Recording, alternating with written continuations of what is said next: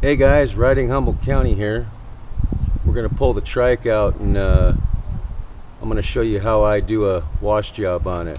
It's been long overdue, so uh, yeah, I'm gonna pull out my stuff and show you how I do it. So normally, guys, I would use this jack right here. I picked it up at Harbor Freight, and uh, normally I would use that if I was doing a two-wheeled bike, so I could lift it and uh, then I could get the rims to spin for me and that way it's easier to do the wheels.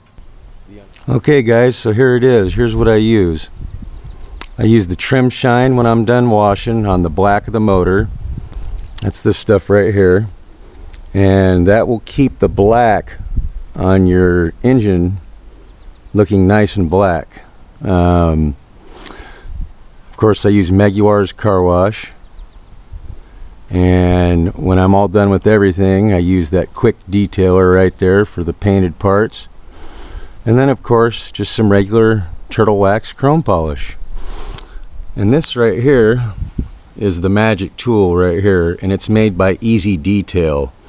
It's called an Easy Detail brush and this is what you use to get all the nooks and crannies that you can't find or that you can't reach with a sponge so I'll show you how to do that in a few.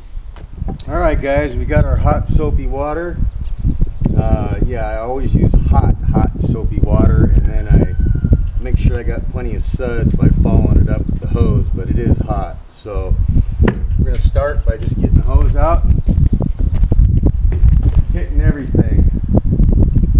Be generous with the water too. There's nothing you can't hit on this bike that uh, going to hurt it. It was meant to ride in the rain, so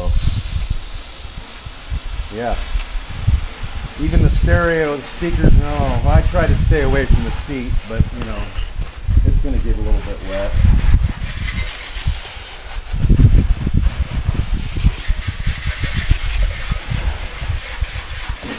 In fact, this is the first time that this trike has ever been washed. It's uh, it's only got 2,500 miles on it and uh, yeah, it's well overdue for a wash job. All right, guys, here's where the easy detail brush comes in handy right here. You want to hit all the nooks and crannies with this bad boy right here because there's a lot of stuff you can't reach with the sponge. So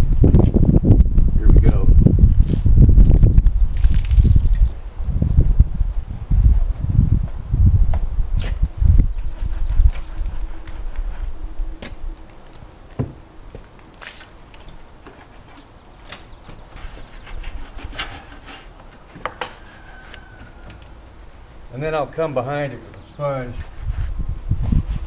and get all the stuff on the exterior.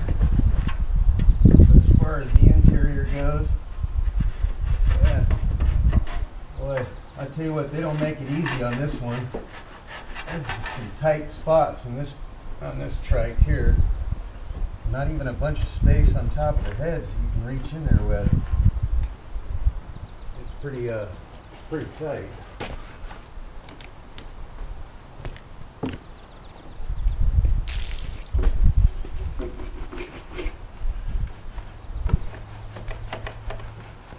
Lots of spots on the forks, in between all the passing lamps, the headlight. This brush does it all, I tell you. Even on the crash bar you can see here spots that you just can't reach with a, with a sponge. Anyways.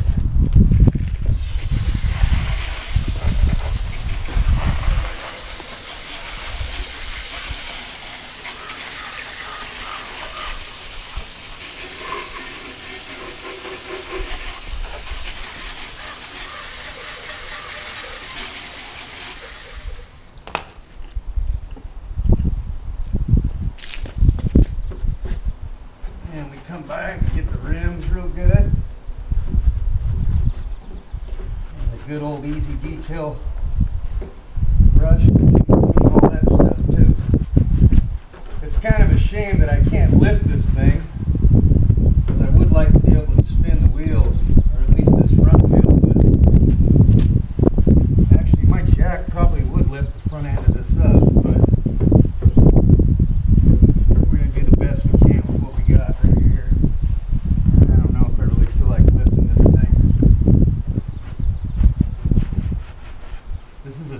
2017 Tri-Glide, by the way.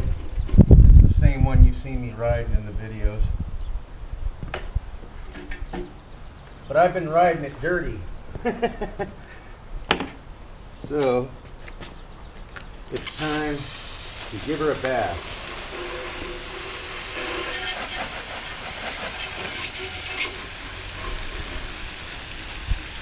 You know, there's lots of gimmicks out there. They claim to have polishes and these solutions that you can wipe on your bike, etc., etc. None of that stuff is going to work as good as uh, good old-fashioned elbow grease.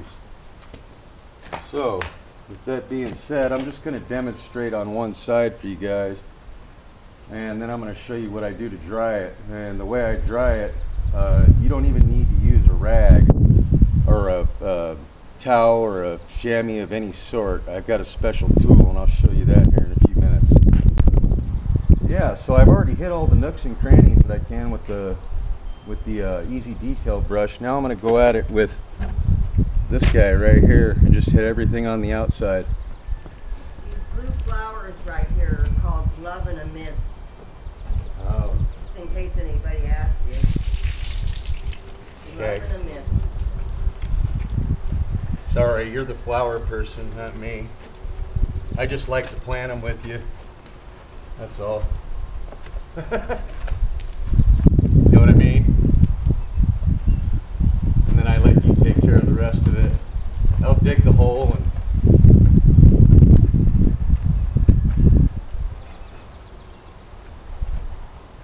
Are we gonna leave Prudy in or out? I don't know.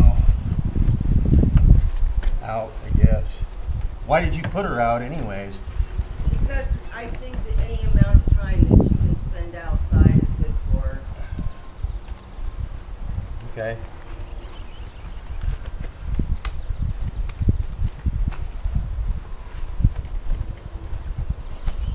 Okay guys, no need to get uh, no need to get stingy with the soap. Get it all.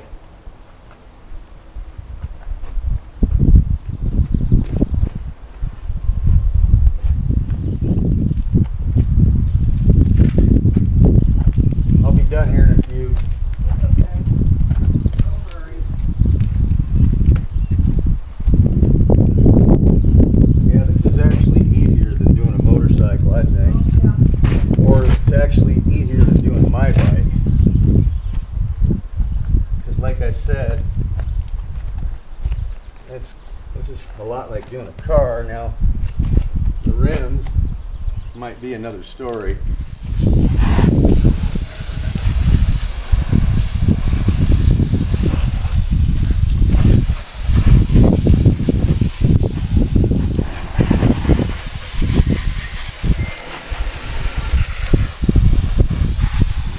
Hose it down. Probably gonna have to use something a little more abrasive for the rims. They've never been done, but uh, yeah, nothing like hot soap and water. Hot soapy water. Nothing like hot soapy water and the right tools. And then I'll show you what I use to dry it. I use a dog grooming tool and it puts out quite a bit of hot air. So you really don't have to even use a, a rag or a microfiber cloth or anything until you uh, start doing your chrome or you know your painted surfaces with polish, whatever you want to do after you wash it.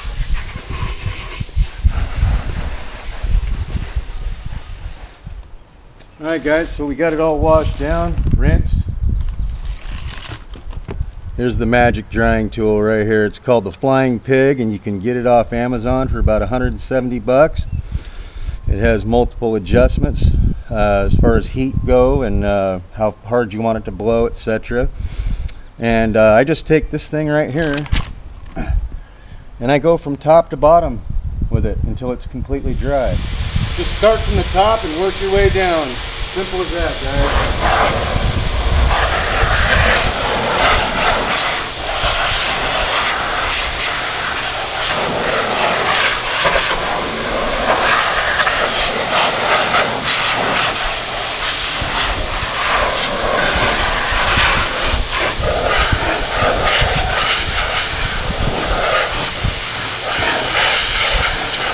This thing really pumps out hot air too.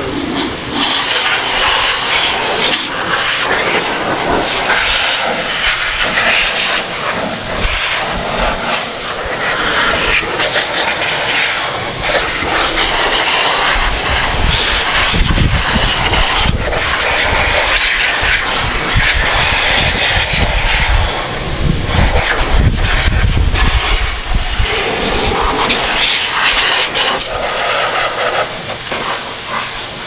nice thing about this right here, you don't need to use a rag to dry your bike off.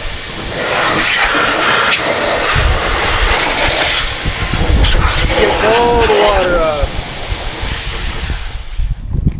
All right, guys, that, that about does it. So after she's completely dry, you can take and uh, run it down the road if you want. Get the engine really, really dry. I don't usually have to. In fact, I just use this uh, flying pig tool and it does the trick. But uh, after I'm done with that, I'll use this, which is made by Stoner Car Care. And you want to get it in the aerosol can. Don't buy it in the um, squirt bottle because it's two different solutions. I don't know why, but it just is. Anyways, yeah, you put this on anything that's black on the motor and it will not only preserve it, but it actually keeps that engine looking new, um, especially the fins uh, on the heads, etc. So uh, yeah, I'll put that on the engine as soon as it's completely dry. And then of course, every about fourth or fifth wash, I just use the regular turtle wax um, chrome polish and I'll go over all the chrome. Uh, up here where I live, uh, corrosion is a big uh, problem, so uh, high humidity, etc., will uh, actually eat your chrome up. If you live in an area where you have high humidity, I recommend uh, having a real good place to put your bike that uh, that um, you have a dehumidifier running in and is also well insulated. So we got that. And then last but not least, for the painted surfaces when you're all done, some Meguiar's Quick Detail. Quick, de quick Detailer Mist and Wipe by Meguiar's. And you can go over all the tank and the fenders and all that good stuff. shine. So here's what we do with it.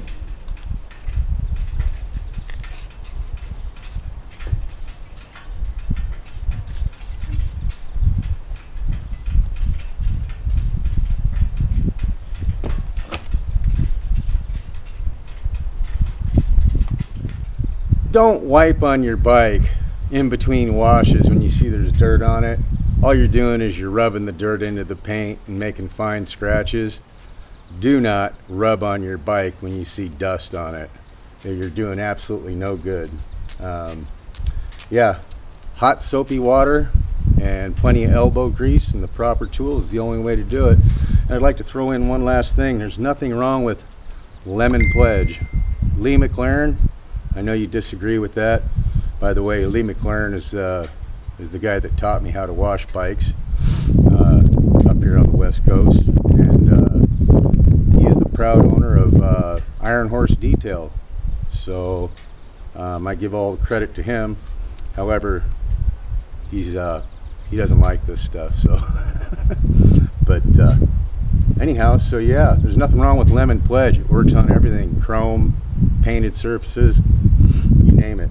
So, any, anyways, yeah, you can see she doesn't look bad. Just takes a little bit of time. All right, guys. I hope this was helpful. Have a good.